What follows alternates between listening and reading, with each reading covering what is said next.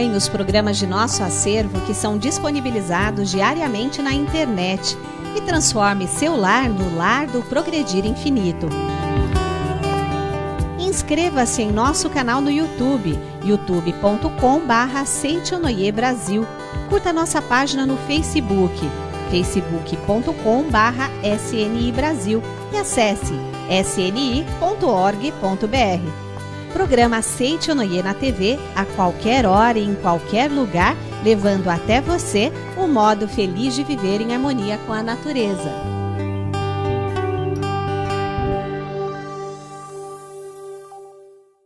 Olá! Pra mim, pra você, pra este auditório maravilhoso e também para todo o país, entra mais um programa Aceite Onoye, um modo feliz de viver. E hoje temos como convidado uma pessoa muito, muito, muito especial. Ele vai falar sobre o poder da palavra capaz, olha só, gente, de reconstruir o nosso destino. Ele é chique, ele é poderoso, mas acima de tudo, ele é um dedicado estudioso dos ensinamentos da Seite Anaê. Ele é o preletor Carlos Code Takahashi. Vem cá comigo, Carlos. Bom dia. Bom dia. Muito obrigada. Que bom. Seja bem-vindo. Receba o carinho aqui do nosso auditório. E esse carinho com certeza representa o carinho de todas as pessoas que acompanham o programa da Seite Onaê, que tem a oportunidade de ouvir as palavras do preletor Carlos Takahashi e com certeza transformar a vida para melhor. Mas eu gostaria de saber, a palavra constrói ou destrói, é isso mesmo? A palavra é como uma espada de dois gumes, tanto constrói como destrói. Mas sobre isso falaremos daqui a pouquinho em nossa palestra. Ó, oh, então você não pode sair daí porque tem muita coisa boa na palestra hoje. Por gentileza, Carlos, Obrigado. fique à vontade, receba o carinho do nosso auditório. Legal. É, e todo mundo ligado que o programa de hoje está assim, ó, impedido. Seja você também o mantenedor do programa Seitianoye na TV. Acesse o site sni.org.br barra snitv ou pelos telefones 0800 770 2600 ou pelo 0 operadora 11 5074 4180 e transforme a sua vida e a de muitas pessoas através da sua doação. Muito obrigado. E ao som dos aplausos do auditório mais feliz do Brasil, cadê o aplauso?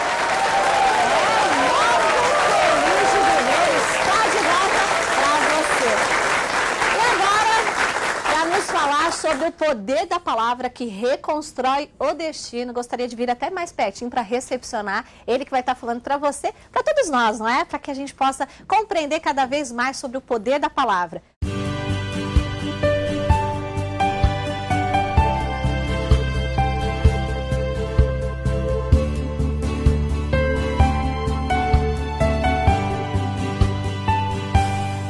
Falaremos sobre o tema O Poder da Palavra Reconstruindo o Nosso Destino.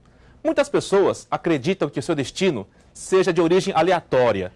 Para os religiosos, Deus quis assim. Para os incrédulos, é o destino, a sorte ou o azar. Mas, na Noé, nós aprendemos que o destino somos nós que o fazemos através da qualidade das nossas palavras. Eu, como já falei em outras palestras, sou um cinéfilo, adoro cinema. E um filme que assisti há muitos anos tratava desse assunto, ou seja, de uma pessoa que recebera de Deus todos os seus poderes para uma semana. E naquele período, ao invés dele gerar felicidade e sorte para as pessoas da cidade, ele egoisticamente tratou de satisfazer o seu ego. Só que, apesar de todos os poderes que Deus lhe concedeu, ele não conseguiu fazer uma coisa muito simples, que era fazer a sua namorada apaixonar-se mais ainda por ele.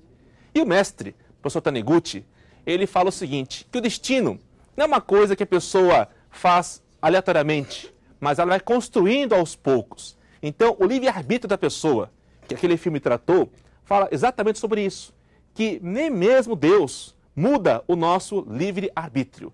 Deus criou todas as condições para que nós pudéssemos viver tranquilamente neste mundo. Porém, o homem, com seu livre-arbítrio, vai construindo o destino que irá viver na sequência. No livro Guia para uma Vida Feliz, nós encontramos este tópico, ou seja, do destino sendo construído pelas palavras. E aqui Logo no início, o professor Masaharu Taniguchi nos ensina o seguinte: que a passagem bíblica da criação do universo, que, em que consta que Deus criou o mundo em sete dias, as pessoas podem imaginar, bom, os sete dias da criação do universo são a justificativa para o meu domingo. Então, se até Deus é, descansou no sétimo dia, por que não eu? Mas, na realidade, o sétimo dia, o descansar de Deus, não se refere ao nosso descansar. A interpretação dessa passagem quer dizer o quê? Que Deus criou os elementos básicos do universo, os mundos mineral, vegetal, animal e humano, e deixou a tarefa conclusiva da criação entregue às mãos do homem. Que tarefa seria essa? A criação do seu próprio destino. Portanto, o destino não é algo que venha sem ser chamado, mas o destino vem na medida em que nós emitimos, através do nosso livre-arbítrio, palavras com qualidade. Palavras boas, alegres e positivas, resultado, um bom destino. Palavras negativas, palavras pessimistas, a sua vida, se transforma numa curva de rio em que só para tranqueira. Mas se você quer uma vida feliz, próspera e saudável, melhore a qualidade das suas palavras. E aqui diz então o professor Masaharu Taniguchi. Pensamento é a vida em ação. E a vida em ação denominamos verbo palavra. Pensar é imaginar palavras em nossa mente. Portanto, quando se diz que este mundo foi criado pelo pensamento, isso equivale a dizer que o mundo foi criado pela palavra. Assim como Deus criou o universo com o verbo e a palavra, o homem, que é filho de Deus perfeito, possui o mesmo poder criador e através do mesmo instrumento criador, ou seja, a palavra. Portanto, quando nós pronunciamos boas palavras, quando temos bons pensamentos, quando expressamos uma cara alegre, nós irradiamos uma vibração poderosa que é lançada no mundo mental. E essa vibração é como sementes que são lançadas num solo fértil que geram eh, boas plantas, boas árvores e bons frutos. Portanto, minha gente, nada acontece por acaso. O que somos, o que temos e o que vivemos acontece em decorrência daquilo que nós próprios emitimos. Portanto, o nosso destino ele é formado basicamente pelas palavras que nós emitimos. Palavra não é só aquilo que você fala de vez em quando. Por exemplo, chega em casa e fala assim: Ah, hoje eu fui no show show Noie e lá falaram para pensar coisa boa. Aí hoje eu vou pensar: sou feliz, sou feliz, sou feliz. Mas na manhã seguinte, acorda pensando: ai, que vida difícil, ah, sou azarado, nada que eu faço dá certo. Aí não funciona. Para a palavra surtir o efeito necessário, para que a palavra possa construir um bom destino, é fundamental que nós tenhamos o hábito, a tendência mental de pronunciarmos, de emitirmos boas palavras. E para que tenhamos essa tendência mental, é fundamental o nosso, a nossa dedicação, a nossa perseverança para nós corrigirmos diariamente, para corrigirmos a todo momento a qualidade das nossas palavras. De vez em quando, nós deixamos escapar uma palavra negativa, uma frase é, negativa, tipo, não tenho sorte, ah, eu não consigo, será que vai dar certo? Mas se nós negligenciarmos nesse ponto e deixarmos as más palavras serem pronunciadas aleatoriamente no nosso dia a dia, com certeza aquele pequeno fecho será ampliado e daí para frente teremos uma correnteza de palavras negativas sendo pronunciadas a todo momento. Por isso, temos que ser vigilantes, temos que comandar a nossa embarcação e não deixarmos essa embarcação lançada à maré, a bel prazer. Não, temos que ser os comandantes dessa embarcação chamada destino e, para tanto, temos que segurar firme o leme chamado poder da palavra. Tenhamos a perseverança de, todos os dias, iniciarmos o despertar com boas palavras. Eu, por exemplo, acordo todos os dias muito cedo, às 5 horas. E quando acordo, eu mesmo penso para mim mesmo: manhã da felicidade. Hoje é um dia feliz e maravilhoso. Com certeza, boas coisas acontecerão. Obrigado, Deus, pela noite bem dormida e por mais um dia de vida. Bom dia, mundo! Abra os olhos. E quando abro os olhos, vejo meu quarto e começo a agradecer a cada coisa do meu quarto. A cama confortável, ao travesseiro macio, ao meu futon, que é o acolchoado, quentinho. Agradeço ao chão que eu piso, quando vou ao toalete, a água que sai da torneira. Olha, gente, a água sai da torneira quando abro a torneira sem reclamar. É verdade. Quando eu aperto a descarga, também ela faz tchó, naturalmente, sem reclamar, sem pedir nada em troca. Assim é a vida ao nosso redor.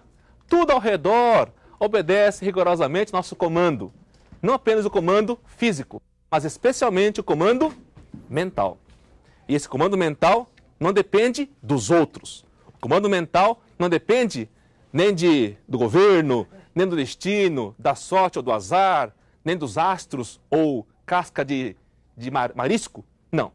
O comando mental depende de nós mesmos, de você disciplinar a sua mente, de você corrigir cada palavra que você emite. Se por acaso você disser uma palavra negativa para si ou para alguém, corrija imediatamente isso. Faça uma oração de perdão e pronuncie em seguida boas palavras. Se ficar difícil, escreva essas palavras. A minha mãe acorda às quatro da manhã todo dia, todos os dias, quatro horas da manhã. E ela faz o café, deixa tudo pronto, e ela faz o seguinte: ela senta-se à mesa da cozinha e começa a transcrever textos da, dos livros da Seite Noyer. Todos os dias. Ela escreve textos dos livros da Seite Noyer. E um dia eu perguntei, mãe, por que a senhora escreve todos os textos? Ela respondeu assim: se eu só ler, eu posso esquecer. Então eu leio e escrevo, aí eu gravo duas vezes as palavras da verdade. Eu falei, a senhora que é preditora de verdade, viu? Muito mais do que eu. Há várias. Obrigado. Enfim, há várias formas de nós é, registrarmos essas boas palavras. O poder da palavra que constrói um bom destino não é só pensar de vez em quando coisas boas. É necessário que haja uma disciplina, é necessário que haja uma continuidade, um hábito. No livro Mente, Corpo e Destino, o professor Tokurissa fala o seguinte: o pensamento se torna a ação. A ação repetida forma o hábito. O hábito forma o caráter e o caráter decide o destino da pessoa. Portanto, para termos um bom destino, a primeira coisa a fazer é melhorar a qualidade dos nossos pensamentos, ou seja, das palavras. Palavra não é só pensamento. A palavra que constrói é formada por três partes básicas: pensamento, fala e, sobretudo, expressão fisionômica. Certa vez, é, palestrando para funcionários de um banco, um grande banco, um grande banco é, eu lhes disse o seguinte: vamos sorrir. Quando você sorrir para o mundo, o mundo sorri para você em resposta. Aí uma senhora falou assim: o senhor está errado, a cara é minha, eu faço nada que eu quero. ah, é? Nossa, puxa vida, lhe respondi. A senhora está errada. A natureza é tão sábia que colocou cada coisa em seu devido lugar. Se a natureza, na nossa constituição física, colocou o nosso rosto na frente, é para ser visto. No alto, é para ser visto também. Então, se o rosto está em cima e na frente, é para ser visto por todas as pessoas. E se for visto por todas as pessoas, o rosto deixa de ser só seu e passa a ser de todas as pessoas. Tá certo? E mais. E mais. E eu disse, eu disse àquela senhora o seguinte: se o rosto fosse só seu, se o rosto fosse só seu e de mais ninguém, esse rosto não estaria em cima nem na frente, estaria embaixo e atrás. Portanto, faça do seu rosto uma palavra poderosa, um instrumento poderoso de transmissão de boas coisas. Sorria mais. Não importa que a sua vida esteja cercada por problemas. Não importa que o teto lhe caia a cabeça nesse momento. Saiba que para o Filho de Deus nada é impossível. Tudo que você é, tem e vive agora é resultado não de castigo de Deus, porque Deus não castiga, Deus é amor, nem do destino, porque somos nós que o fazemos. Então, se na sua vida as coisas não estão tão boas, pense o seguinte: é por sua integral responsabilidade. Mas, ao constatar isso, não tenha uma autopunição, uma meia-culpa, ah, eu sou culpado, não tenho sorte, não tenho nada que dar certo. Não faça isso. Ao sentir-se responsável pelo seu destino, faça de forma proativa, ou seja, de agora em diante, eu, como filho de Deus, vou mudar a minha vida, o meu destino para melhor. Portanto, de mim só serão emitidas boas palavras. E comece a pronunciá-las a todo momento. Fale coisas boas, pense coisas boas de si mesmo, não se autopune. Não fique pensando coisas ruins de si mesma ou de si mesmo. Pense em coisas boas, pronuncie mais elogios, Não critique a si mesmo e as pessoas próximas, elogias, fale coisas boas, destaque suas virtudes e, sobretudo, mantenha sempre a sua fisionomia alegre, cara alegre, ou seja, cara de seichonoye, cara sempre sorridente, em que as pessoas, quando você chegar no ambiente, elas o recebam com caras alegres também. Não é agradável chegar em casa, sentarem-se à mesa para uma refeição, todos sorrindo um para o outro e falarem coisas agradáveis do dia que passou? Falarem o que vão fazer no futuro, de coisas boas, sonhos, ideais? Olha, se for o contrário, chega lá, tá pronta a janta? Outra vez, quiabo? Ah, hoje o dia foi terrível. Ah, que dificuldade. Amanhã, ti, vai ver se conta, não tem dinheiro. Ai. Se fizer assim, o alimento material será consumido impregnado de más vibrações. Resultado: não terá saúde física, terá sim, na verdade, ilusão da doença. Para corrigir isso, temos que ter sempre mente, palavra e rosto alegres. Falar coisas agradáveis, elogiar as pessoas e sorrir sempre para as pessoas. Nesse livro ainda, o professor Masaru Taniguchi fala o seguinte: o homem traça o seu próprio destino. O homem, por ter recebido de Deus a plena liberdade de ação, tornou-se senhor de sua própria vida neste mundo. O homem é dono do seu destino. Portanto, ele é dono de si mesmo e não um escravo. Então, uma pessoa que fica só resmungando, falando de problemas, de dificuldades, para contar com o dó alheio, só atrai, sabe o quê? Marimbondo. Não atrai coisa boa. Mas se a pessoa constantemente está pensando coisas boas, falando coisas agradáveis, e está com cara alegre, atrai colaboradores e até bens materiais. Portanto, se você deseja uma vida feliz, próspera e saudável, faça da sua palavra boas sementes. Procure sempre olhar para o espelho, sorrir para quem você vê no espelho e dizer boas palavras. Eu, quando era mais novo, era muito tímido e pessimista. Olhar para o espelho e pensava, que cara feia. Eu sou um CDR, como, dormo reclamo, durmo reclamo. Quem vai querer uma, um coitado assim? Só uma coitada. Quando tiver filhos, serão coitadinhos. Não é? Aí conheci a Seichonoye, a verdade me libertou, lendo os livros sagrados como este, Guia para uma Vida Feliz, compreendi que, na verdade, tudo que eu sou, tenho e vivo é resultado do que eu semeio. Daí para frente, comecei a ter melhores pensamentos, a pronunciar palavras com qualidade positiva e sorrir mais, especialmente para as pessoas mais próximas. É bom sorrir para todas as pessoas, mas é fundamental sorrirmos, falarmos coisas boas para as pessoas mais próximas. Cristo nos ensinou: ama ao teu próximo como a ti mesmo. Ele nunca disse ama aos distantes, ama aos que nunca virão pedir coisa emprestada para você. Ele falou simplesmente: ama ao teu próximo como a ti mesmo. E o professor Taniguchi nos pergunta: quem é nosso próximo mais próximo? Exatamente. Eu sou o meu próximo mais próximo. Amar a mim mesmo não é pegar uma foto sua, ampliar, tamanho 60 por 90, emoldurar e ficar abraçado o dia inteiro assim. Eu me amo, eu. Nada disso.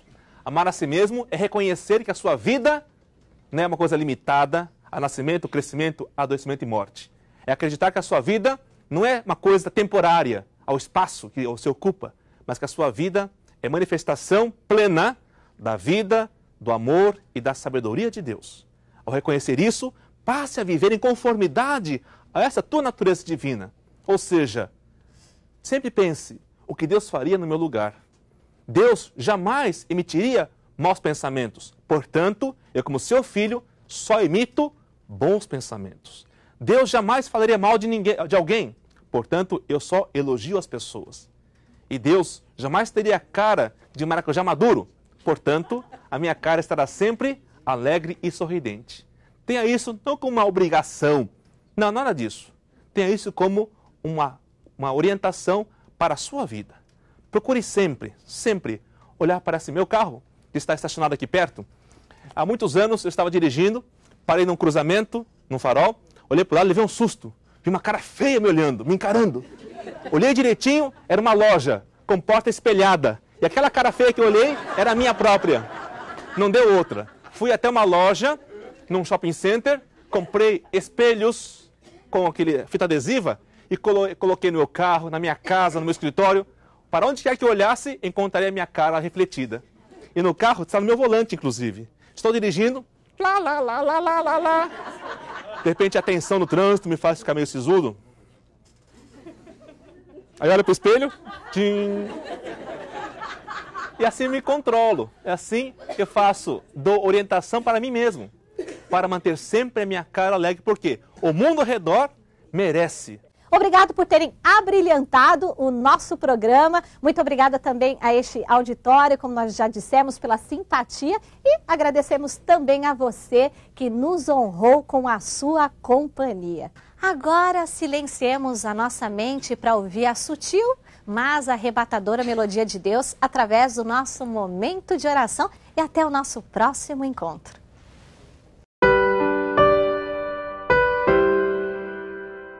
Oração para negar o mal. Neste momento, compreendi que minha imagem verdadeira é filha de Deus. Compreendi também que imagem verdadeira deste mundo é o reino de Deus. Se enxergo algum aspecto imperfeito, isso não passa de miragem. A imperfeição não existe. O mal não existe originariamente. É verdade que o pensamento é força motriz e que aparecem o bem quando se pensa no bem, e surge o mal quando nele se pensa. Isto é lei da mente. Porém, mesmo que surjam coisas más por se pensar nelas, elas não são existências verdadeiras. Elas se manifestam segundo a lei mental da manifestação da miragem. Coisas e fatos maus não são existências verdadeiras. São inexistentes e apenas parecem existir. Muito obrigado.